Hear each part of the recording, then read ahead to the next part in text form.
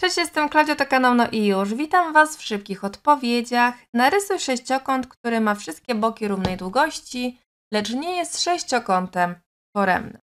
Dobra, rysujecie sobie jakieś A, niech one ma na przykład 2 cm i rysujemy coś takiego. Mamy A, mamy A, a tutaj odbijamy to o inny kąt. A. A. A. I A.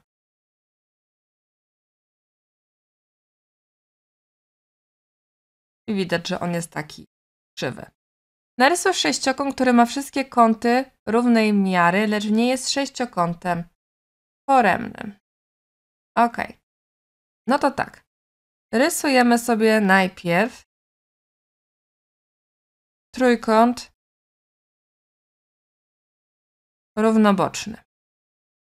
Taki większy go sobie zróbcie, może na 8 cm czy coś takiego. Bo tu mamy wtedy stopni 60.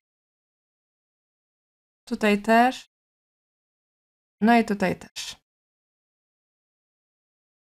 I teraz, jak my sobie tutaj to poobcinamy, na przykład tak. Taki mniejszy. Tu tak o. Jak my połączymy to ze sobą,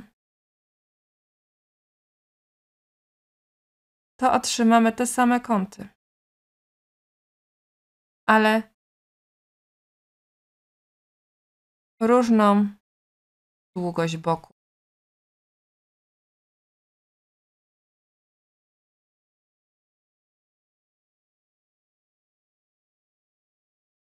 Dziękuję Wam serdecznie za uwagę i, no i już.